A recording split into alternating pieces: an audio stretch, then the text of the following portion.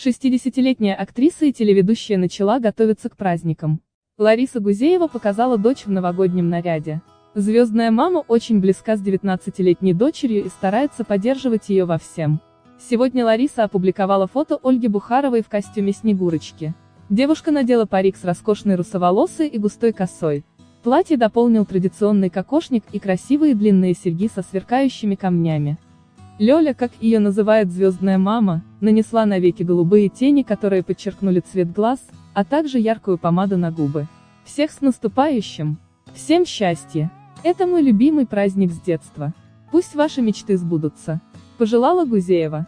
Поклонников Ларисы Андреевны восхитила красота ее дочери. Лёлька прелесть, русская красавица, с холодком. Красотка настоящая Снегурка. Здесь ваша доченька похожа на мужа вашего. Копия, образ похож на ретро-стиль, очень красивая Снегурочка, написали фоловеры звезды. Сама Лариса недавно также примерила образ Снегурочки. Это произошло на записи новогоднего телешоу. Актриса и телеведущая позировала вместе с Дмитрием Нагиевым. Звезда заявила, что может над собой посмеяться. Она поблагодарила помощницу за создание милого и одновременно нелепого образа.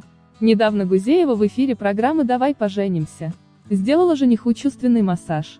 Звезда призналась, что ее материнский инстинкт проснулся не сразу.